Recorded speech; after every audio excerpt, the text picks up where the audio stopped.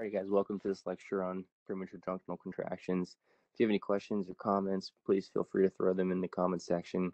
If you like it, give it a like and subscribe if you want some more. So let's jump into it. So normal conduction, we know we have our SA node, fires off, depolarizes the atria. I would depict that on our EKG as a P wave. We then know our AV node is going to harness that signal and it's going to delay it for a second, and then send it down through our His-Purkinje system down into the ventricles, and it's going to create our QRS, which is going to look nice narrow QRS, and then we've got our T wave for repolarization. And so that's our normal conduction system. And we know that all of the cells of the heart have their own pacemaker potentials. And sometimes certain cells at certain certain areas of the heart can fire off prematurely.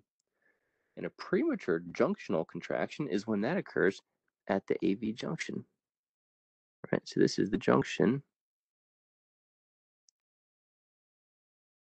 And if this fires off premature, what would we expect to see? So this cell fires, it sends depolarization. Well, because it's within our His-Purkinje system, it's actually going to send a depolarization signal down the His-Purkinje fibers, just like it does in our normal beat. And we're going to create a QRS complex that's going to look exactly like our normal QRS with a normal T wave. The difference will be is that before it, there is, if you notice, no P wave. Why is that? Well, because this junctional beat caused a QRS in the absence of atrial depolarization. So we would define a premature junctional contraction as a QRS that is the same morphology, QRS. Obviously, it needs to occur premature or early compared to when it, a normal bee would. And there needs to be an absence of atrial atrial um, activity that is going to actually be the causative, um, you know, the, the reason why this QRS would occur. And so, on an EKG, this is a rhythm strip here. I'm going to walk you through. So we can see just that. We've got normal beat, normal beat, normal beat, normal beat early. So this is a premature beat. And then we resume normal, normal, early, or premature, then normal again. If you look at our, our normal beats, we've got our P, QRS, T, P, QRS, P, QRS, QRS. And then we have a, a QRS that looks very similar to our normal QRSs, but if I look in front of it, if I look in front of it, I don't see, there's no P wave. And then we have a little bit of a pause. Then we resume our normal P waves, normal P waves, and then another premature beat with, you said it, no P wave. And so notice that these are still nice, narrow. These premature beats are narrow complex. They're very similar in morphology to our normal QRSs. There's no P waves.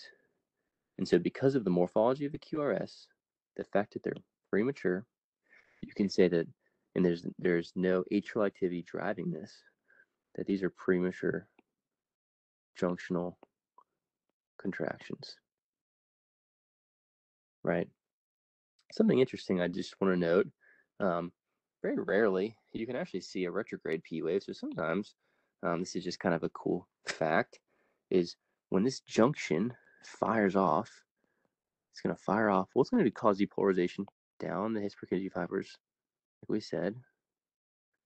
But sometimes it'll also cause retrograde depolarization up the AV node, and you actually get a retrograde P wave through the atria. It's actually really cool. And depending on if say this is the AV node here, if that junctional contraction occurs here, you'll have ventricular depolarization first, and then you'll have retrograde depolarization after. Or if that junctional contraction occurs kind of up top on the where the AV node is, it might cause a retrograde P wave right before you see ventricular depolarization. So sometimes you can actually see a, a junctional contraction that'll have maybe a little P wave right before the QRS. Or you might have a P wave that occurs right after the QRS, where you have this little P wave. Those are still premature junctional contractions. I just thought it was really interesting that you might see these little atrial deflections before or after these junctional contractions. But obviously, we know that these PR intervals are not showing that these are beats that are coming through the AV node normally. So this is obviously still arising from the junction. So just a fun fact. I hope this helps you understand the physiology behind a junctional contraction and helps you identify them on an EKG. So take care.